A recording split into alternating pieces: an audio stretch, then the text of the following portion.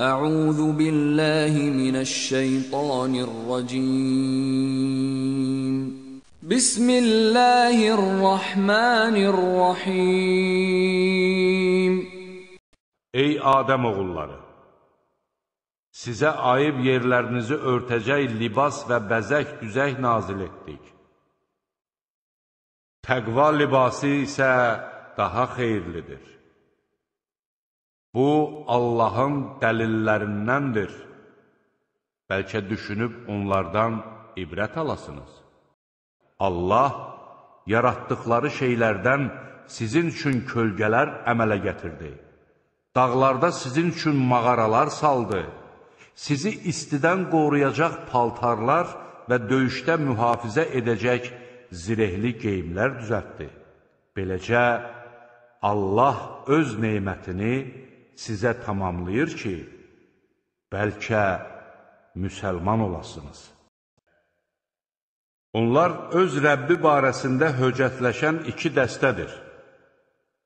Kafirlər üçün oddan paltar biçiləcək, başlarına da qaynar su töküləcəkdir.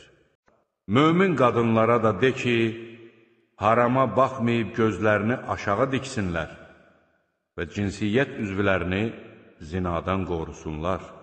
Qoy onlar, görünənlər istisna olmaqla zinətlərini naməhrəmə göstərməsinlər.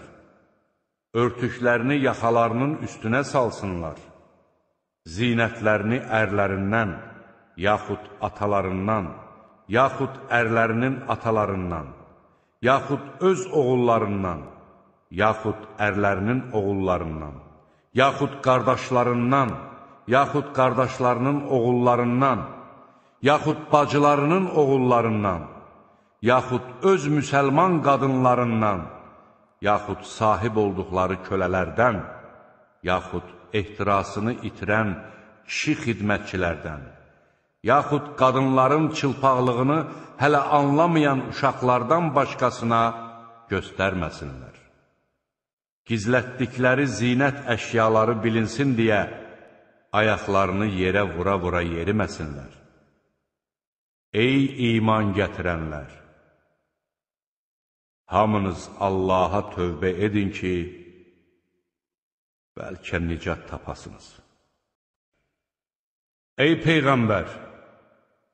Zövcələrinə, qızlarına və möminlərin qadınlarına de ki, naməhrəm yanında çarşapları ilə örtünsünlər. Bu, onların tanınması və onlara əziyyət verilməməsi üçün daha münasibdir. Allah bağışlayandır, rəhimlidir.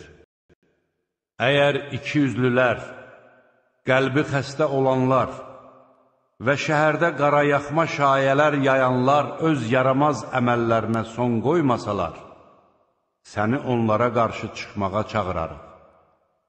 Sonra onlar orada artıq səninlə ancaq qısa bir müddət ərzində qonşuluq edər